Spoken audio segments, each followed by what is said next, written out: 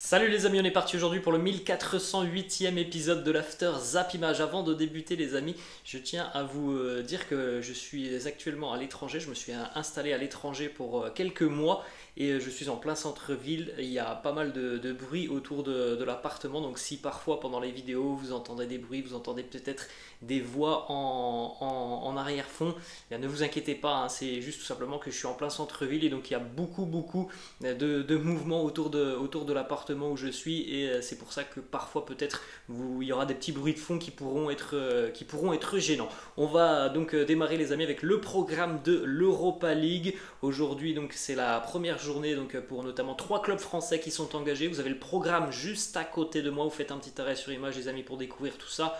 Monaco sera en déplacement du côté de l'Étoile Rouge de Belgrade. Nantes recevra l'Olympiakos. Et puis enfin, le Stade Rennais, euh, Stade Rennais sera du côté de Chypre pour affronter l'AEK Larnaca. On va regarder, les amis, les résultats de la veille en Ligue des Champions. Le carton de l'Ajax Amsterdam qui a complètement dominé les Rangers 4 à 0 dans le groupe de l'Olympique de Marseille, Francfort a été atomisé à domicile par le Sporting 3 buts à 0. A noter aussi la victoire de Bruges 1 but à 0 face au Bayer euh, Leverkusen. Les autres résultats, les amis, on va les regarder un petit peu un par un. On va donc démarrer, les amis, du côté du Tottenham Hotspur Stadium. C'était donc l'entrée en lice pour l'Olympique de Marseille. Les Phocéens étaient donc à Londres hier pour affronter les Spurs d'Antonio Conte.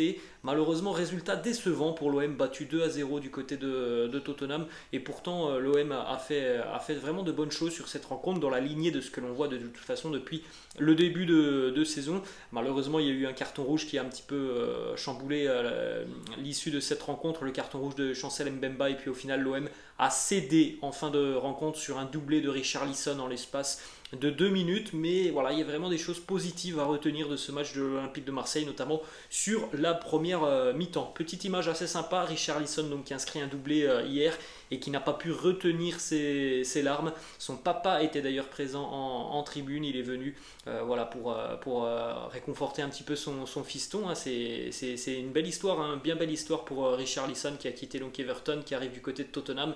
Match en Ligue des Champions, un doublé pour lui. Déclaration du côté de l'OM, Igor, Igor Tudor qui nous dit Je pense qu'on a fait un bon match. Bon, pour ceux qui ont vu la, rencontre, on peut se dire, les amis, que voilà, pour l'Olympique de Marseille, il, il, y a évidemment des chances. Quand on voit ce, que l'OM a proposé hier, on peut se dire que les Phocéens sont en mesure de rivaliser dans ce, dans ce groupe. Hier, si on n'a pas ce carton rouge, eh peut-être que le résultat est différent hein, pour, les, pour les Phocéens. Alors euh, voilà, c'est un, c'est un fin de match, c'est comme ça. En tout cas, on a vu de bonnes choses du côté de l'OM. Une première mi-temps très très très très solide, une première mi-temps où les Phocéens ont même plutôt euh, dominé. Hein. les, les, débats évidemment sur la seconde mi-temps en étant à 10, ça a été beaucoup plus euh, compliqué. Igor Tudor qui poursuit, qui nous dit on a dominé Tottenham en première mi-temps, mais on ne s'est pas créé beaucoup d'occasions. Le rouge a changé le match, ils ont fait deux centres, le match était, terminé. Alors c'est un match, les amis, où on n'a eu que très peu d'occasions au final, hein, que ce soit pour les Spurs et pour l'OM, et il est évident que le rouge a tout changé. Déclaration de Jordan Verretou qui nous dit on a fait une très bonne première mi-temps, c'est à l'image de ce que l'on fait depuis le début de saison. C'est sûr que le résultat est très frustrant après avoir fait une telle, euh, une telle première période. C'est frustrant les amis, mais il faut tout de même euh, retirer le, et ressortir le positif de, de, ce match côté, côté marseillais. Ensuite, la déclaration de Valentin Rongier qui nous dit on est frustré, à 11 contre 11, on faisait jeu égal, on dominait même, on savait qu'on pouvait rivaliser avec ce type d'équipe, mais ça fait 0 points, c'est pas suffisant. Le rouge nous a tués, vous voyez hein, le constat, il est le même pour tous les, pour Phocéens, ce carton rouge de Mbemba qui a, changé l'issue de cette rencontre. En tribune euh, hier du côté du Tottenham Hotspur Stadium, malheureusement, de tristes scènes euh, ont, émaillé la fin de cette, euh, rencontre des supporters marseillais qui ont arraché d'immenses banderoles arc-en-ciel aux couleurs du club, anglais. Beaucoup de jets de, de bouteilles, de heurts avec les forces de sécurité. Donc malheureusement, ça évidemment, ça va peut-être pénaliser l'OM sur les prochaines rencontres, notamment euh, ben, à, domicile. Euh, ça, et ça serait un gros coup dur parce qu'on sait très bien que le vélodrome plein, ça peut être une arme importante pour les Phocéens. Donc on espère qu'il n'y aura pas trop de grosses sanctions pour euh, l'OM. Il y avait énormément de supporters phocéens en déplacement hier du côté du Tottenham Hotspur Stadium. On prend la direction cette fois-ci, les amis, du stade euh, Diego Armando Maradona à Naples, où hier Liverpool a vécu un véritable calvaire du côté du Napoli. Les Napolitains s'imposent 4 buts à 1 avec notamment un doublé de Zielinski, un but pour l'ancien Marseillais Zambo Anguissa, un but aussi pour le fiston de Diego Simeone, Giovanni Simeone, et côté Reds de Liverpool, réduction de la marque signée Luis Diaz. Quelques statistiques les amis autour de cette euh, rencontre, notamment pour euh, le Polonais Piotr Zielinski. Très très gros match pour lui, deux buts, une passe D. Il a été énorme hein, sur cette rencontre face à une équipe de Liverpool apathique, notamment au milieu de, terrain. Cette équipe des Reds, elle ne ressemble plus à grand chose hein, depuis le début de, saison avec un Sadio Mané euh, qui, est, parti. Euh, on a du mal à trouver le, remplaçant avec un Mohamed Salah qui n'est plus que l'ombre de lui-même, un milieu de terrain qui euh, souffre énormément et une défense très peu, très peu fiable. C'est très compliqué pour les hommes de Jürgen Klopp. On souligne aussi la grosse prestation de Franck Zambo Anguissa, l'ancien Marseillais, 87% de passes réussies, 100% de dribbles réussis, 100% de passes longues réussies, 4 sur 7 en ce qui concerne les tacles, 5 interceptions, 1 but, homme du match. Voilà, les Napolitains qui poursuivent leur très bon début de, saison. A noter aussi que le fiston de Diego Simeone, Giovanni, a marqué euh, son, premier but en Ligue des Champions, tout simplement parce qu'aussi hier c'était son premier match hein, dans sa jeune carrière en Ligue des Champions. 25 ans et 361 jours après euh, les, débuts de son papa Diego qui avait marqué en 1996. Et eh bien c'est le fiston qui a marqué avec le Napoli hier. Il était euh, ému euh, aux larmes, hein, Giovanni Simeone sur le terrain. D'ailleurs, il a un petit, un petit tatouage sur l'avant-bras, un petit tatouage avec la, représentation du logo de la, de la Ligue des Champions. Donc c'est une compétition voilà, qui est importante pour lui, pour toute sa famille. Donc voilà, c'est très, très émouvant pour lui hier d'avoir d'avoir marqué. C'était tout simplement un rêve pour lui de jouer la Ligue des Champions et de marquer. Il l'a fait hier avec le Napoli, quelques stats les amis sur Liverpool, ça va mal hein, pour les Reds de Jurgen Klopp. Liverpool a concédé euh, l'ouverture du score dans 5 matchs cette saison, toutes compétitions euh, confondues. C'est tout simplement un, record euh, pour une équipe de Première Ligue avec, Southampton. Des débuts de match qui sont en général très très compliqués et une, fébrilité défensive combinée en plus de ça à une attaque qui a beaucoup beaucoup de difficultés. Hein. Hormis le carton face à Bournemouth, c'est une de, des Reds offensivement qui est en grande, grande difficulté. On n'a pas le rendement espéré pour, euh, pour Salah, on n'a pas le rendement espéré pour, euh, pour euh, Darwin Nunez. Voilà, c'est dur pour, pour Liverpool. Jurgen Klopp à l'heure actuelle affiche un pourcentage de 28% de victoire cette saison avec les, avec les Reds. C'est évidemment catastrophique. À titre de comparaison, les amis, Thomas Tuchel, qui a été viré hier, on en parlera dans, quelques instants, euh, en était à 43% de victoire avec, euh, avec Chelsea. Est-ce que euh, du côté de Liverpool, on ne va pas se poser la question en ce début d'année de, de l'avenir de Jurgen Klopp? Moi, je ne pense pas. C'est quelqu'un qui est là depuis quelques années. c'est la première fois que ça se passe mal comme ça hein, pour, les, Reds. Donc, je pense que voilà, quand même Jurgen Klopp depuis, euh, depuis 6-7 ans maintenant, il a, il a acquis quand même beaucoup de crédit du côté de, Liverpool. Euh, d'ailleurs, hier, il a été interrogé, Jurgen Klopp, en conférence de presse. Est-ce qu'il n'était pas inquiet tout simplement de sa situation par rapport à ce qui s'est passé avec Thomas Tuchel? Est-ce qu'il n'était pas inquiet par rapport à son avenir à Liverpool? Il nous dit euh, non, moi je suis, je suis très calme. je pense qu'on va se sortir de cette, de cette situation les, nos propriétaires sont beaucoup plus rationnels que ceux, de, que ceux de Chelsea. Voilà les mots de Jürgen Klopp. Direction les amis Madrid et le Vanda Metropolitano. Un scénario complètement dingue hier à Madrid. L'Atlético s'est imposé 2 buts à 1 face au FC Porto avec euh, bah, 3 buts qui ont été inscrits dans le temps additionnel de cette rencontre. Ouverture du score signé Miguel Hermoso 91e. Manuel Uribe qui égalise pour, le, Porto 96e et regardez le sauveur Antoine Griezmann 90 plus 11 101e minute pour Grisi qui était entré comme d'habitude à, l'heure de jeu hein, puisque voilà on a bien compris visiblement que Griezmann euh, n'allait pas jouer euh, pas jouer des matchs entiers du côté de l'Atletico donc comme d'habitude à l'heure de jeu il entre en jeu il va délivrer l'Atletico à la 101e minute dans un match assez fermé cadenassé où Porto aurait peut-être mérité tout de même de ramener un point de ce déplacement de, Madrid. Déclat d'Antoine Griezmann qui nous dit Je suis très heureux à l'Atlético, tout ce que je veux, c'est jouer et tout donner pour le club, pour Simeone et pour les fans.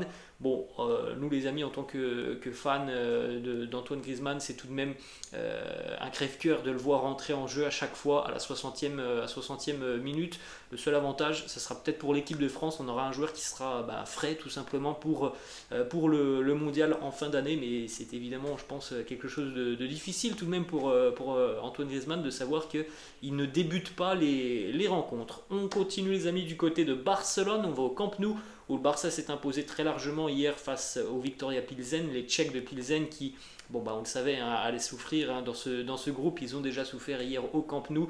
But pour euh, Franck Caissier, triplé pour Lewandowski, un but pour Ferran Torres qui a délivré aussi une passe, euh, décisive.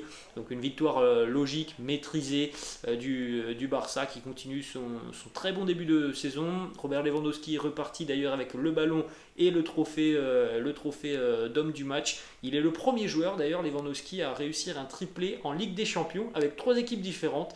Il l'avait réussi avec le Borussia Dortmund, a réussi à quatre reprises avec le Bayern et donc premier match avec le Barça, premier triplé pour euh, Lewandowski qui d'ailleurs hier avec ce triplé a repris euh, donc la troisième place. C'est du classement des meilleurs buteurs de l'histoire de la Ligue des Champions. 89 buts pour Lewandowski. Euh, Karim Benzema est repassé donc en quatrième position avec ses 86 buts. Évidemment hein, tout le monde est encore très loin de Cristiano et Léo Messi on enchaîne les amis avec quelques déclarations autour de cette rencontre, déclarations et statistiques. Premièrement, bah justement, Robert Lewandowski qui nous dit euh, nous sommes prêts à affronter le Bayern.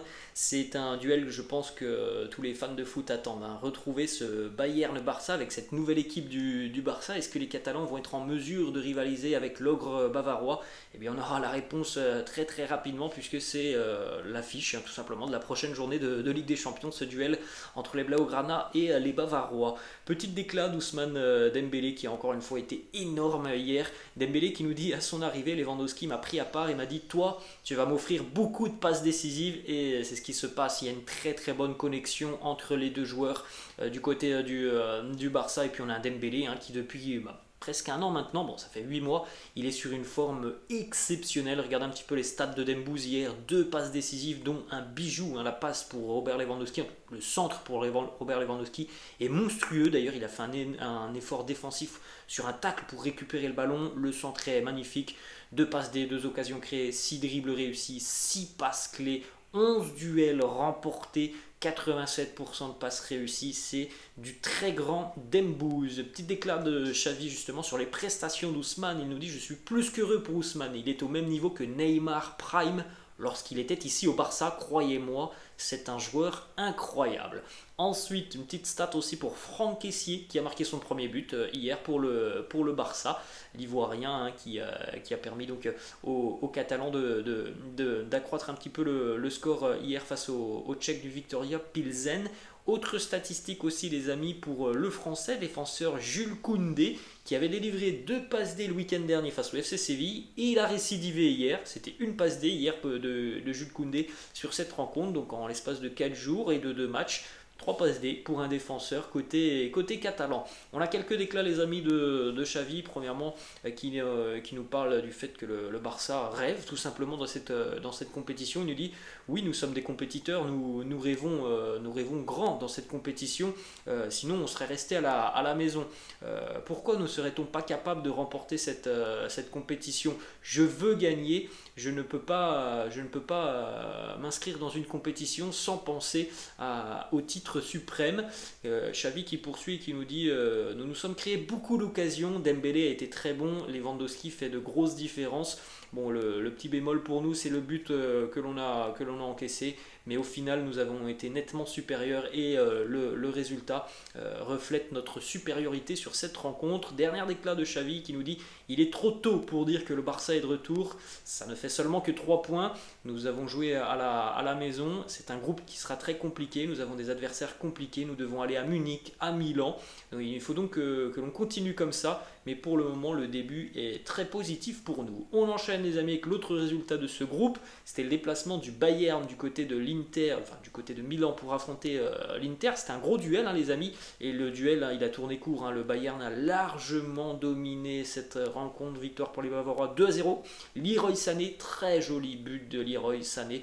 Et un but euh, aussi d'Ambrosio contre son camp. Victoire complètement logique des, des, Bavarois qui ont encore une fois euh, marché sur cette rencontre. L'Inter a énormément, énormément souffert, notamment sur la première mi-temps.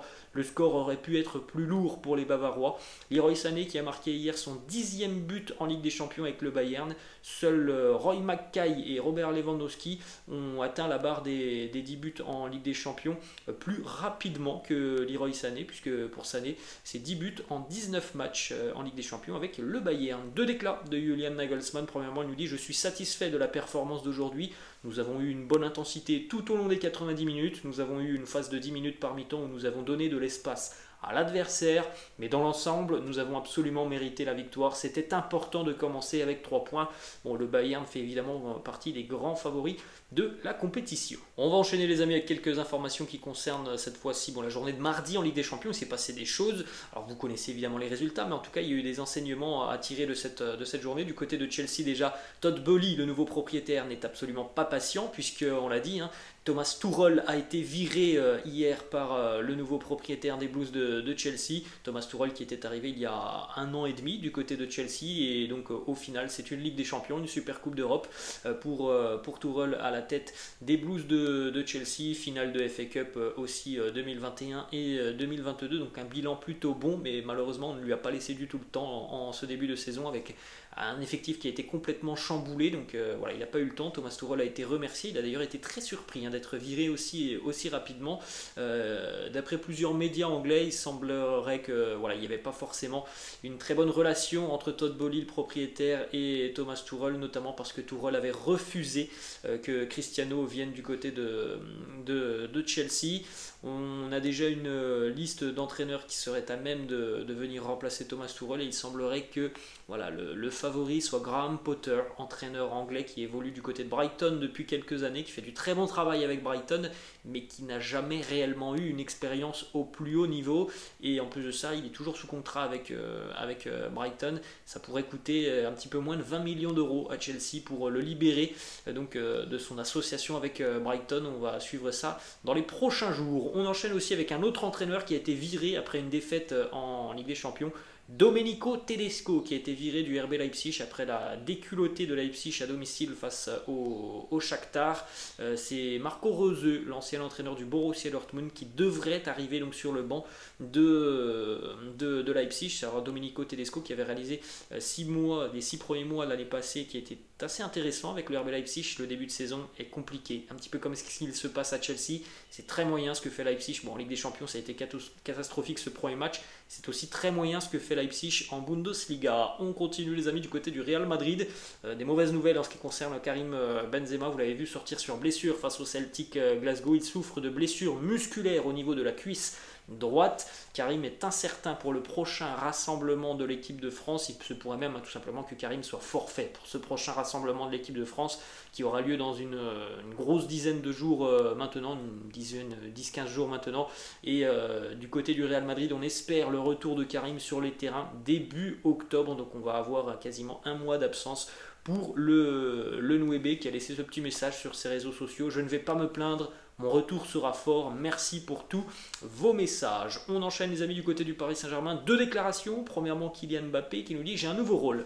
Le coach veut que je sois à la fois un point d'appui et que je serve de profondeur, mais aussi que je puisse venir jouer et que je serve de lien entre Léo et Ney. J'essaye de m'adapter du mieux que je peux à ce nouveau rôle c'est plutôt pas mal pour le moment ce que, ce que nous propose le PSG, même si, bon, face à la Juventus, on pouvait peut-être espérer une maîtrise un petit peu plus importante, notamment sur la seconde mi-temps.